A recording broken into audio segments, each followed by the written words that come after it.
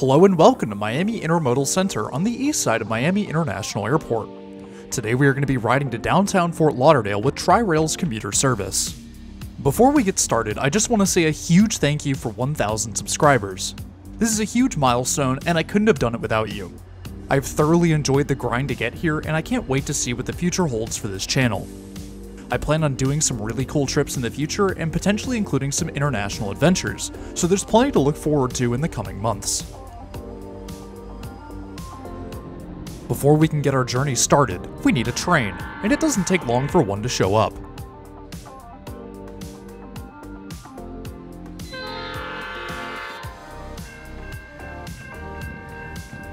Tri-Rail train P623 is finishing up its southbound journey from Mangonia Park on the north side of West Palm Beach.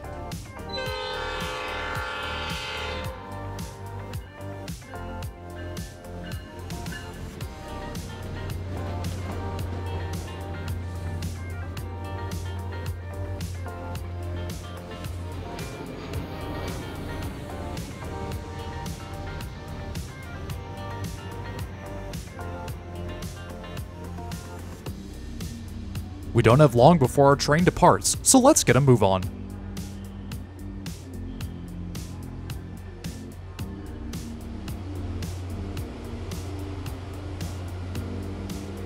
Tickets for Tri-Rail are available from the many kiosks around the station. Tri-Rail is a part of the South Florida Regional Transportation Authority, and thus uses the Easy Card for tapping on and off of trains. Said Easy Cards can also be used on Metrorail and Metrobus services, and can be reloaded like most Metro cards.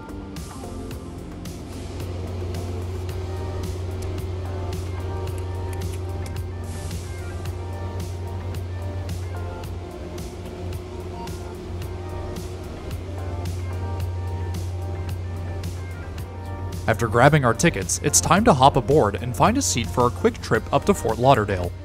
I opted for the second car in our train today as the first car was getting rather busy. And of course, I had to sit on the second level because who can resist such a great view? Seeing as there was apparently no one else in this car, I decided to sit at a table so I had some extra space. Seating on Tri-Rail is pretty standard for commuter trains. The table sits about 8 inches from my torso, and there's plenty of space beneath the table to stretch out, though I wouldn't go too far if you're sitting across from someone.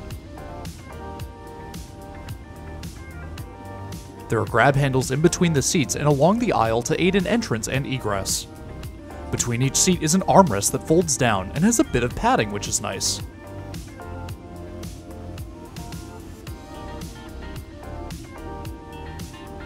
The seats themselves aren't too comfortable, there's some decent padding on the back and bottom of the seats, but the seating position is rather upright, so it's hard to get comfortable on longer journeys. Below the table in this row are two outlets for passenger convenience. Despite their existence, you have to really be looking for them to know that they're there, as the only indication of them is the small safety placard that gets obstructed by the table. After getting seated, our train pulls out of the station to begin our quick 49 minute journey to Fort Lauderdale. As our train pulls out of the station, let's take a quick look at some stats about our train. Our train this morning is Tri-Rail Train P626 and consists of four Hyundai Rotem bi-level coaches powered by EMD F40PHM-3C locomotive number 809. Each F40PHM is powered by EMD's 645 V16 engine, producing 3,000 horsepower. Each locomotive is rated for a top speed of 110 miles per hour, but Tri-Rail operates their fleet at 80 miles per hour. Locomotive 809 was originally retired in 2015, but was then rebuilt into its current 3C spec with upgraded electronics and components, returning to service in 2020. If you're enjoying the video so far, feel free to hit that like and subscribe button down below. It's totally free and it really helps support the channel. And hit that bell icon while you're at it so you never miss another video. A welcome amenity on board Tri-Rail's fleet is free Wi-Fi. The speeds are actually fairly respectable for free Wi-Fi on board, reaching a peak of 1.6 megabits per second.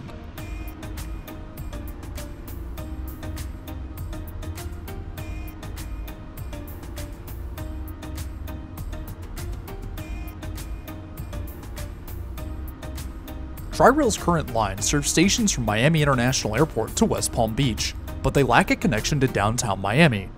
That is all set to change in the next year or so, as Tri-Rail will be expanding service to Brightline's Miami Central station with the downtown Miami link. The expansion will see southbound trains branch off from the main line at the Metrorail transfer station to head east and then south into the heart of downtown Miami. Tri-Rail trains will share the tracks with Brightline trains from 71st Street into downtown and will use tracks 4 and 5 at Miami Central. Hyundai Rotem bilevels are fairly standard commuter cars, but it's still worth taking a look around to see what Tri-Rail has to offer. The bottom level holds larger luggage racks and additional seating, which is to be expected. A welcome addition next to the bathroom door is a water station so passengers can stay hydrated, although it's clearly running out of pressure. Now it's time to take a step into the bathroom.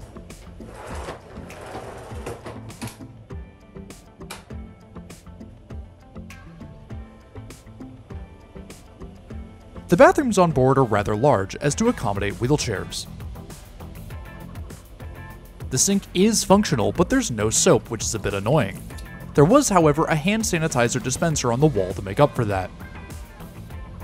The bathroom could certainly have used a good clean and maybe even a new coat of paint, but for a commuter service, it does the job.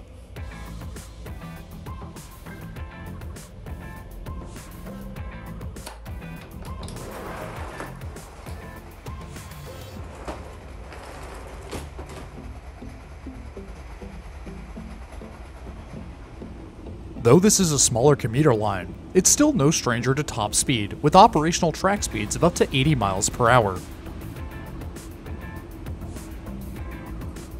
As the Florida scenery whipped by, I decided to take a look at an individual row of seats. Seating here is again fairly standard. There really isn't a lot of room here, with about 3 inches between my knees and the next row, but the small indent in the back of the seat does help. Like all of the other rows on this train, there's a grab handle between the seats and along the aisles. Tri-Rail's fleet also includes armrests in all rows, a welcome addition for both comfort and personal space. The individual rows, however, are missing outlets along the walls. Clearly Hyundai Rotem is capable of putting outlets here, as they are at the tables, but why they chose not to put them everywhere is a little strange.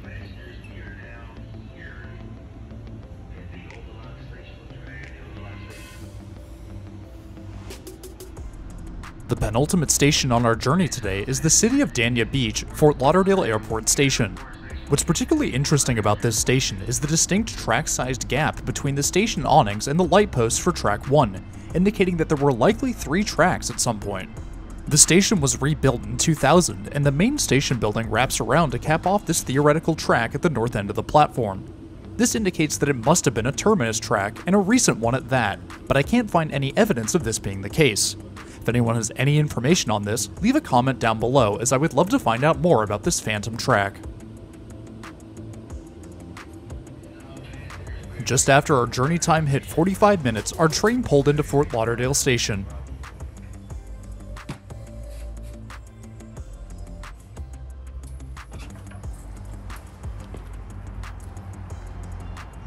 And with that, it's time to end today's video. Firstly, I just want to say again a huge thank you for 1,000 subscribers.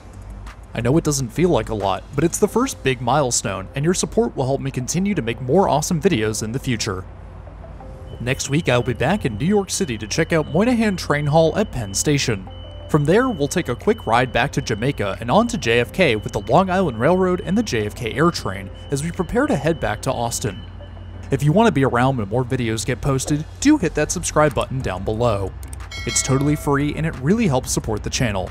If you liked the video, drop it a like too.